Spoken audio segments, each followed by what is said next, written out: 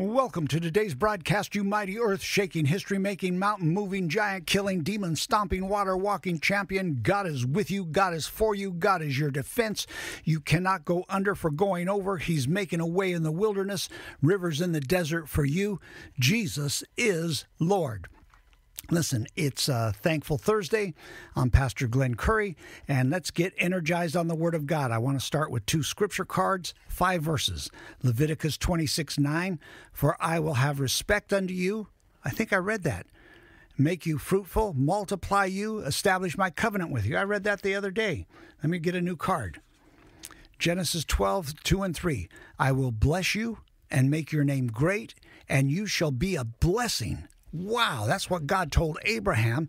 And Galatians 3 and Romans 4, particularly Romans 4 tells you that the blessing of Abraham is yours.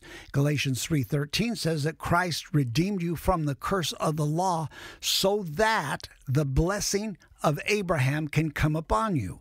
And Abraham was very rich in silver and cattle and gold. Uh, and he was a blessing to others. God told him, I'll bless you, I'll make your name great, and you'll be a blessing.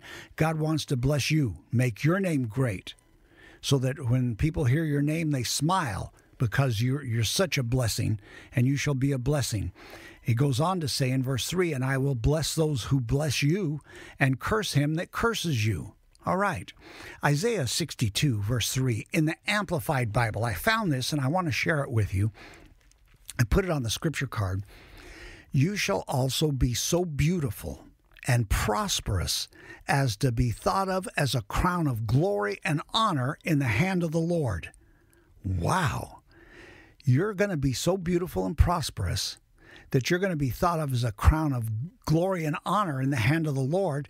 I think that God's not going to use a, a Burger King crown I don't think he's going to use a Queen of England crown. I think he has a crown that's that's supercalifragilisticexpialidociously amazing, and that's who God's making you to be. He's comparing you to a fine piece of jewelry. The Amplified Bible, Isaiah 62 3. All right, I got to keep going. Galatians uh, 3, 6 7, it's talking about uh, giving and receiving, okay?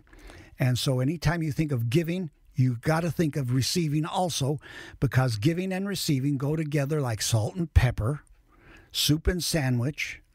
Uh, who else? I don't know. Be not deceived. And in context, it's talking about giving and receiving from God, but to promote the gospel. God is not mocked. Whatsoever a man sows, that shall he also reap. And verse 9 says, And let us not be weary in well doing, in giving. Maybe you're giving of your time. Maybe you're giving of your talent and your ability. Maybe you're giving of your patience to somebody. Maybe you're giving of your money uh, to promote the gospel. Whatever it is, don't be weary in doing it, for in due season we shall reap if we faint not. So don't faint. Your due season is coming.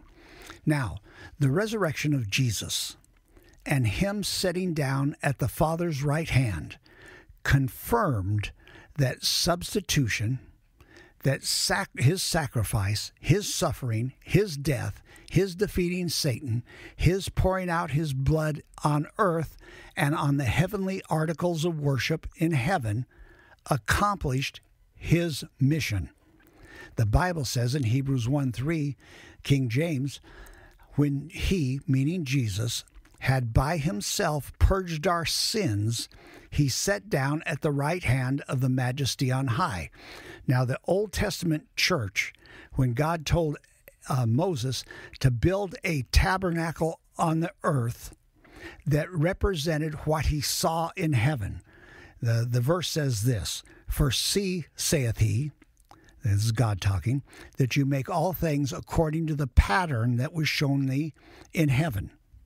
So Moses had an assignment not only to bring the Ten Commandments, but to build a tabernacle that looked as identical as it could in the physical realm on earth, just like how worship is in heaven.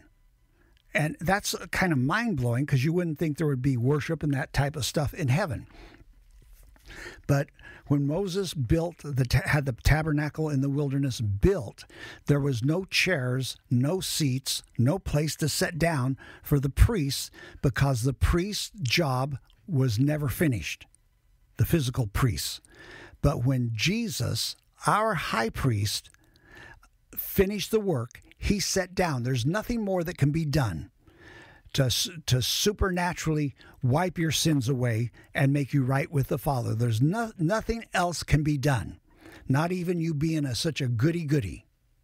Not you, not even you modifying your behavior can make you more right with God than what Jesus did. The mission of Jesus accomplished the the and, and was verified by the fact that the Father raised him from the dead and welcomed him to be seated on the in by a majesty on high in the throne of heaven. I'm going to say it that way. God then turned to Jesus in Hebrews 1 8 and said, Thy throne, O God, is forever and ever. God the Father called Jesus God. That's pretty amazing, right? Had Jesus failed to redeem us and to accomplish what he set out to do, he never would have been resurrected. So, when you're thinking, man, I don't know if God's going to forgive me this time, well, you got to think that God the Father would never have resurrected Jesus from the dead had uh, if it wasn't possible for you to be forgiven. In other words, what I'm saying, there's no room for condemnation and guilt in your life. There's no reason to feel like you're a perimeter person or an outsider. You don't have to feel that way because you're made near by the blood of Jesus. Amen. Jesus would have remained hell's prisoner if what he was doing didn't work. Wow. And he would have never sat on the throne in heaven if it didn't work. He never would have been resurrected. The resurrection of Jesus and him being seated at the right hand of God, our Heavenly Father in heaven, showed the Father's acceptance, his approval, his endorsement of what the redemptive work of Jesus accomplished for everyone that believes. And so the mission of Jesus, I'm going to say it this way, maybe, was to to redeem us from our union with Satan, number 1. Number 2, impart the life of God in us, the Zoe, the eternal life of God in us. Number three, present us holy. Number four, and unblameable. And number five, unreprovable to the Father according to Colossians 1:22. Colossians 1:22 gives us a dramatic and freeing picture of how the Father views us now in Christ. No more condemnation, no more fear of not being acceptable, no more feeling like we're a perimeter person no more condemnation at all. The, the Old Testament church people in the wilderness that had blood sacrifices of animals, they had a sin consciousness. Hebrews uh, 10 2, I think it is. And so, what Jesus came to do is remove the sin consciousness from us and give us a God inside minded consciousness, if I can say it that way.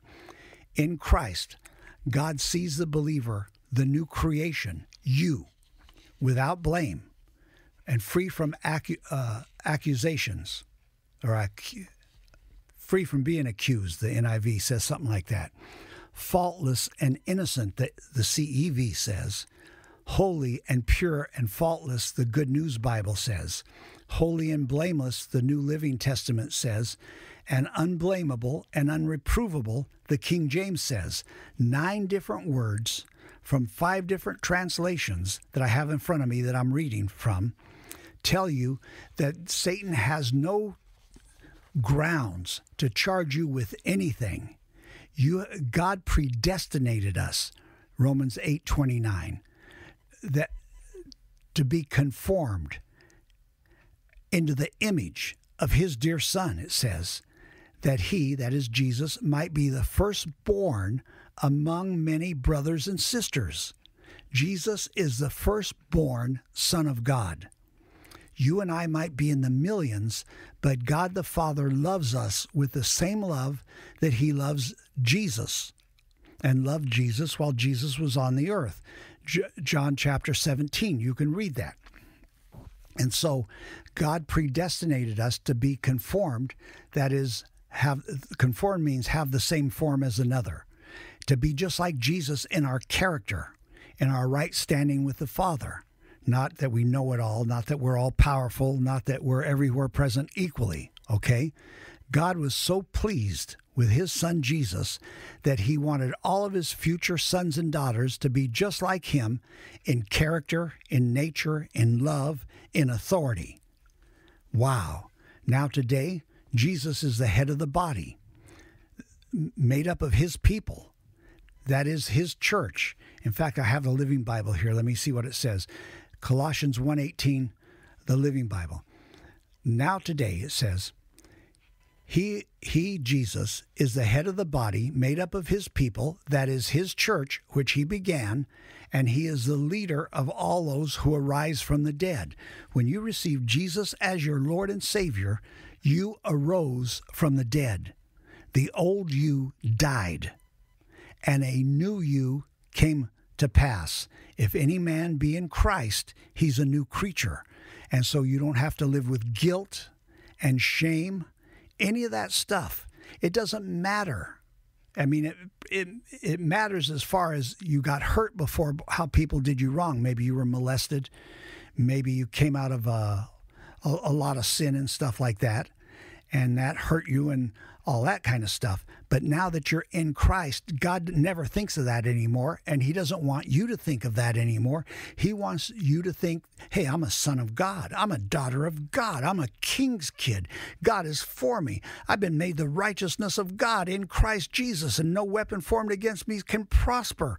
Praise God. Whatever I put my hand to is going to prosper because God is with me. God is for me. God is my defense. I can't go under for going over. He's making a way where there is no way for me. You got to think that kind of thoughts. And you can only do that by putting the mighty word of God in you big time. The Bible says in uh, Hebrews 2 11, it says, And we have been made holy by Jesus. Now we have the same Father he has. That is why Jesus is not ashamed to call us his brothers and sisters, the Living Bible. Saints, I love you. Speak blessings to you in Jesus' mighty name. Go forth and steamroller that dirty dog, the devil, with the mighty word of God. Have a great day. Thank you, Pastor Glenn. Pastor Glenn's daily podcast is available on Spotify, his Pillars of Faith Christian app, and YouTube. I encourage you to support Pastor Glenn by listening to his podcast daily and watching his Bible teachings on YouTube. By sharing his content and increasing his viewership, we can get the gospel of Jesus Christ to more people across the globe. Let's encourage our friends and family to get inspired by God's Word with Pastor Glenn's teachings.